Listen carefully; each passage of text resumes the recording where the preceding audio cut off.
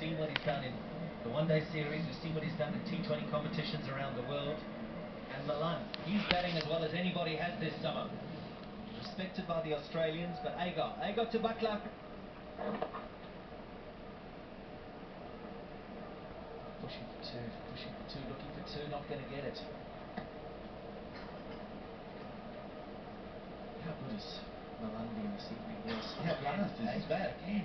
We Yeah. associate fast bats with Chris Lynn and uh, Eoin Morgan, as we just saw the shot before it got out. But uh, Dawid Malan, he's been dynamite on anything leg side and then over the covers as well. It's been just as effective when Australia have pitched wide. Agar's round the wicket, trying to take some pace off it. That, that's really what got the wicket of Eoin Morgan.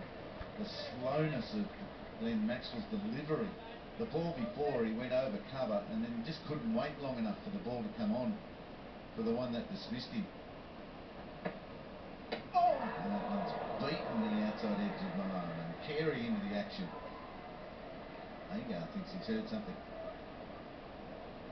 Yeah, they're going to go. And here, Agos, Agos said, I think they've got it. I think they've heard something. Well, I don't know they're going to go. Yeah, they really like it. You could tell that. I Colin. wonder, it's why you wonder what Malan's thinking here. isn't? I mean, you've done this, Kev. We haven't, but Original but, decision is not out. You've got your heart in your mouth, haven't you? Please. Particularly if you know, but it's the thinnest thing ever. Thank you. Fair delivery. We move to front on slow motion.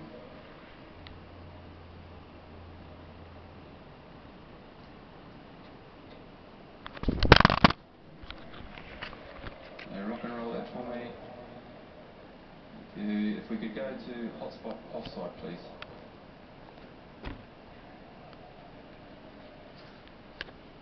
And rock and roll that for me. I'm not seeing anything on the bat there. Let's go through to please.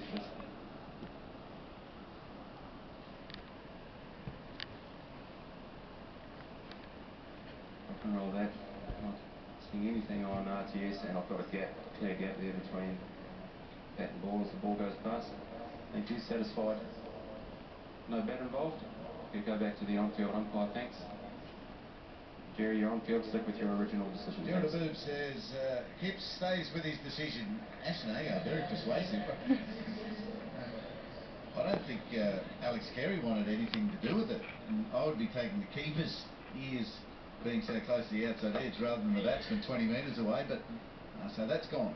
All the Aussies went so quickly back to their position that you suspected they suddenly thought we've allowed uh, Ashton Agar to persuade us. Let's listen. No, nothing on the. We don't pick anything up from the stump line there, do we, Heels? Good arm ball, eh? Definitely a good arm ball, right when they needed something to slide past Malan's outside edge. Jos Buttler just picks up a single that time.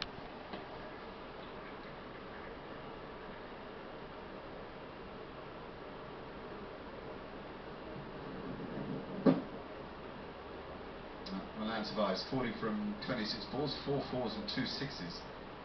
And if you'd seen his start to one day in the national cricket, you wouldn't be surprised by this innings. Because he got off to a flyer in Cardiff against South Africa, belted them for 70 off. He now has 44, 3 for 103.